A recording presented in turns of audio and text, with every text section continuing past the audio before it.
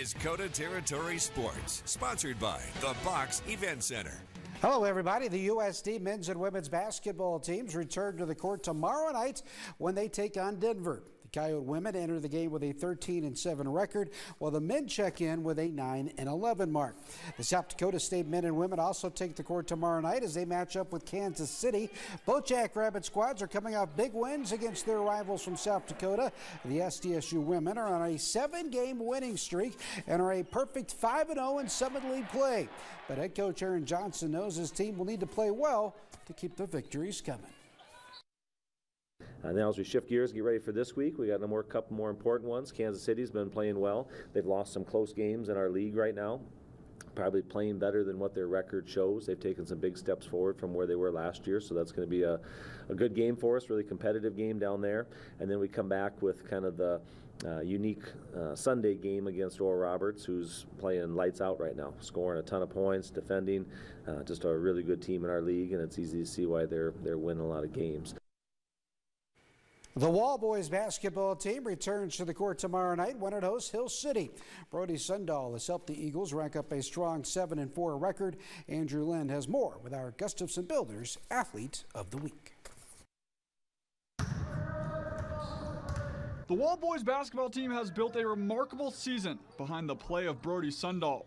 The senior guard leads the Eagles in scoring and rebounding while also taking charge as floor general he's just been a very invaluable resource for me, you know, counting on him to guide the younger crew and just always a reliable source, you know, for me to look on and uh, look to, I guess, when we need him.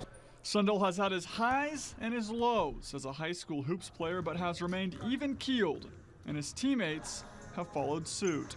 Just enjoy every moment of it. I've had a couple injuries, so I really just want to enjoy this last season and um, succeed and do as much as we can. Just his demeanor and his approach, not only to games but to practice every day, has been such a great example for our young guys, and they've really grasped that. Even though Sundahl is just one of two seniors on the Eagles roster, he hasn't let his age get in the way. I thought it would feel kind of weird not really having much of my friends out, but I've really uh, bonded with these younger guys, and they're fun to hang around, and they're they're good. They're fun to play with, so it, it works out. Being that guy that kind of brings the calm when there's controversy, which of course in every game there's going to be, and so he's done that extremely well.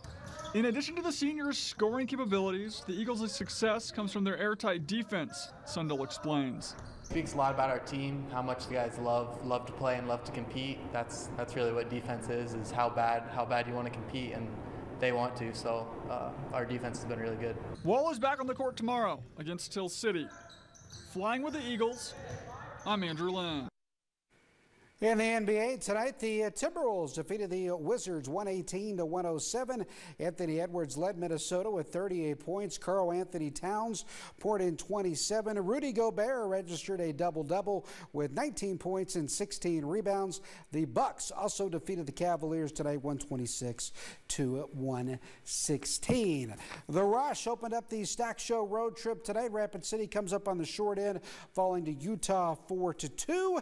And in men's college basketball, a couple big upsets tonight. Alabama knocked off 8th ranked Auburn 79 75, and it was Northwestern defeating 10th ranked Illinois 96 to 91. All right, thanks, Vic.